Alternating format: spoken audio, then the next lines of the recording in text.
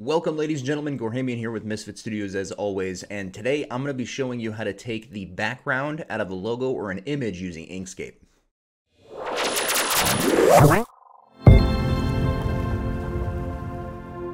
Alright, so removing the background of an image using Inkscape is actually pretty easy. If you don't have Inkscape, I will have a, link in the description below on where to get it. Um, it's completely free and it's actually really easy to use. Um, but first, we need to actually take the border from this uh, little page border that comes up as default. So we're going to go to File, Document Properties. It's going to bring up the Document Properties window. Down on the bottom under Border, just uncheck the Show Page Border. Um, we're actually going to be taking the background out of the Inkscape logo. So let's go ahead and import that image in. We're going to click Import. We're going to go to Desktop and grab that Inkscape.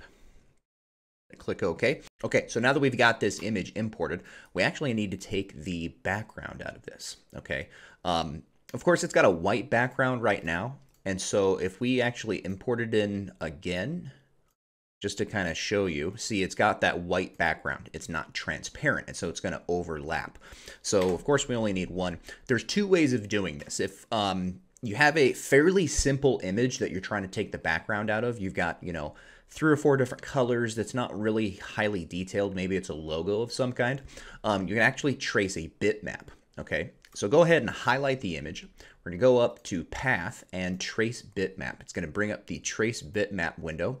Um, we're going to just go click the live preview. It'll give a live preview of it. We're going to go uncheck the smooth, check the remove background, and we're actually going to, just because this is black and white, um, we can actually just check grays and we can actually just even go down to two because it's just black and white. Or if you want, you can go to colors and keep it on two because there's only two colors in this. Um, and we're going to go ahead and hit OK. And what it's going to do is it's going to add that bitmap, that bitmap that we just traced right on top of um, the image that you imported. So we're going to make sure our selection tool is selected and we can drag and move that bitmap over. And so just to see the difference, if we actually hit control, hold control key and then scroll forward, you can zoom in and see how this edge gets really pixelated um, because you're just looking at a JPEG file. And so it's just an image. It's not scaling as you zoom in and zoom out. So if we, you know, zoom out really far, that image starts to distort.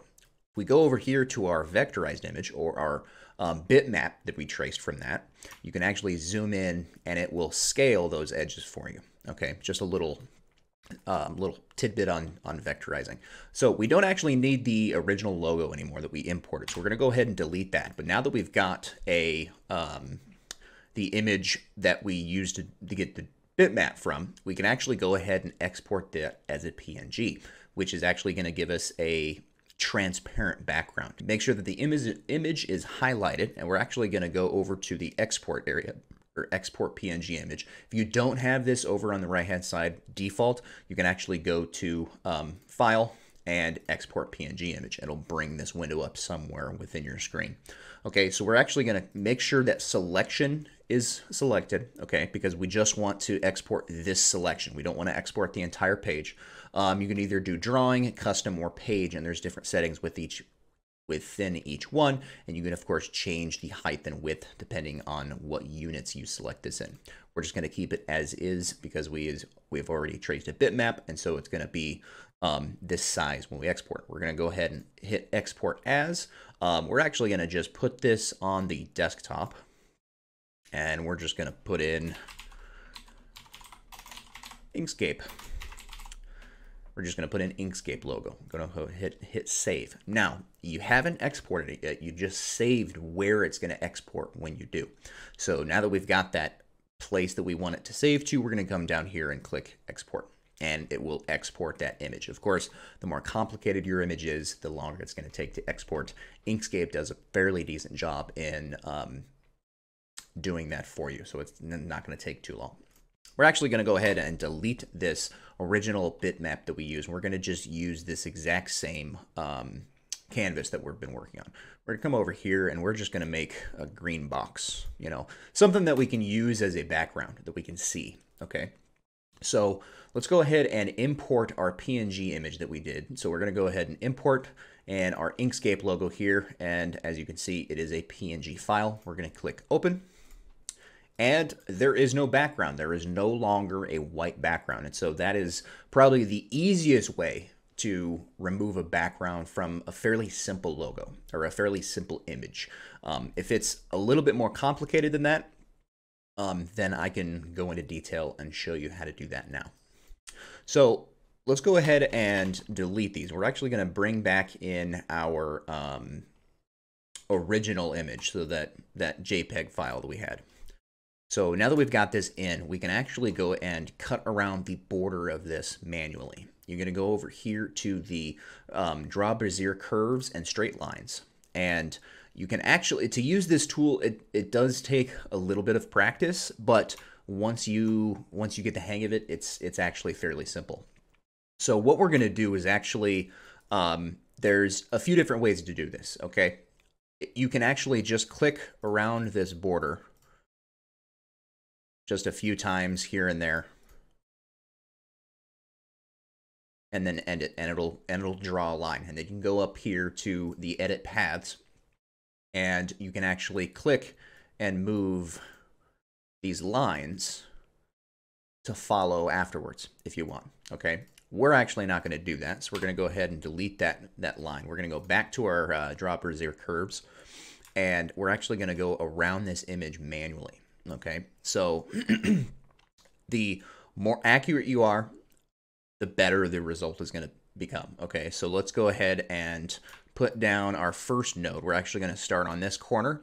And as you can see, you left click once, it'll bring up this image. Okay, the next node that you put down, if you left click and hold it, you can change the curve of that. Okay, so let's go ahead and left click and then hold that. And as you can see, that little red um, little red line will change depending on how you move that cursor as you're holding left click down. Um, like I said, it does take a little bit of practice, but once you get the hang of it, it's it's really fairly simple. So we're going to go ahead and just match the curve of that and let go of left click. And as you can see, you still you still have it selected. Now, if you right click, it will put down this line. Okay, we're actually going to change the um, stroke of that so the, the lime green can, so we can kind of see it. Um, and by doing that, you just come down to here to this these color boxes, hold right click, and then go up and either set fill or set stroke. We just set the stroke there. So um, now that we've got this first line down, it's very, very important that you don't click outside of this. So if you click outside of this and create another one, you've actually just created a different um, Bezier curve and straight line, okay? It's a different object now. So when you go to use the function of taking the background out, it's not gonna work correctly because as you can see, they're two separate lines. And so go ahead and highlight the one. If you highlight the one that you've um, have been working on and go to select curves, select the node, and then go back to the draw tool, you can actually continue on that line. So it's it's not the end of the world. There's just some extra steps that you do if you actually click out of that function. So let's go ahead and continue to um, draw the curves around this little image. And it doesn't have to be perfect right away because you can go back in before you um, remove the background and um, tweak it and make it as close to perfect as you can get it. Um, like I said, left click on the node, go ahead and pull it out. Left click again and drag, or left and hold left click and then drag your cursor out and then right let go of left click and then right click and it'll put down that line. So let's go ahead and trace around this entire thing. And then once we get to that point, we can um, go ahead and remove the background. So now that we've got our border lined out, okay, um, you can come in and change some of these nodes that aren't, you know, perfect. You can go ahead and drag that line around, make sure that your borders are a little bit more crisp and clean than they are here.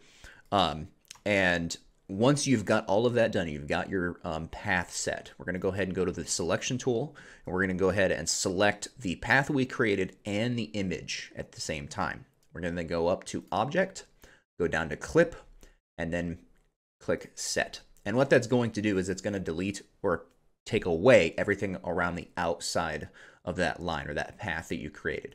So if you move this around, we now have a transparent image or a transparent background. It's no longer there within Inkscape. First, you of course you need to export this as a PNG so you can get the transparent background. Just do it just like before what we talked about after the bitmap trace. Um, export as, you can save it to what location you want, um, what size you want, and then go ahead and hit that export button. Thank you, ladies and gentlemen, for watching. Gorhamian here with Misfit Studios. And if you guys want to see anything else in um, Inkscape, then please leave a comment down below, and we will see you guys next time.